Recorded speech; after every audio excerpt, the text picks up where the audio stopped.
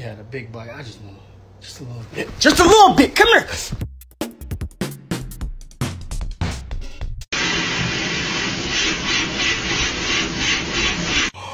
Now wait, before you run, I can explain. So when you go to the vet, that's just how they check to see if you got worms.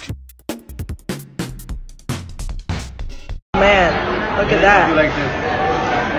Oh, yeah. Get your, get, your ass back.